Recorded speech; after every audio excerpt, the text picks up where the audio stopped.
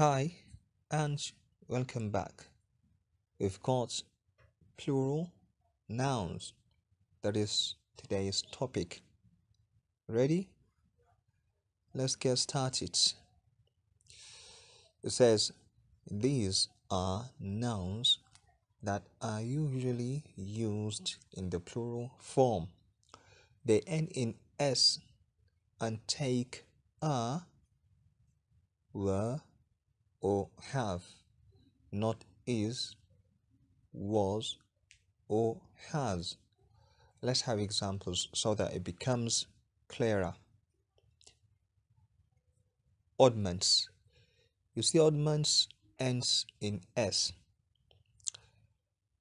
We say, for example, oddments are, or in the past form, we say the oddments were, or for example, we say the oddments have. We do not say the oddments is, or in the past form, the oddments was, or the oddments has. That is why we call it a plural noun. Oddments are, oddments were, or odd, oddments have, not oddment, oddments is, oddments was, oddments has, and so on. It is very simple. Let's have more examples. Forces.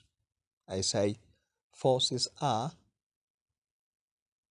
the forces were, or the forces have but not forces is or past form forces was or forces has. Tidings. Conflicts. Where are my conflicts? I do not say where is my cornflakes. Why? Because it is a plural, it is a plural noun. Where are my cornflakes? Crossroads. Terms. The terms are, not the terms is. Or the terms have, not the terms has. Feces. Belongings. Where are your belongings? Not where is your belongings? Necessaries. Peelings. Arms. Basics. You need to know the basics. The basics are the most important things. Caps arrears, bounds, dramatics, hysterics, road works, road works, furnishes, furnishings, CVs. Do you need more?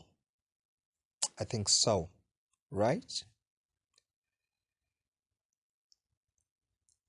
Civics, that is about the government, what the government should do, what you as a citizens, as a citizen, um, should have, for example, as your right, things like that.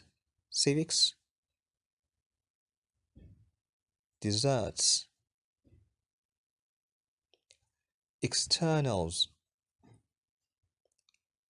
rantings wanderings disposables gathers jim jams chives leavings shavings gallows amends. Outskirts. Victuals victuals the u is silent. Walkies. The l is silent. Teens fisticuffs outgoings leggings.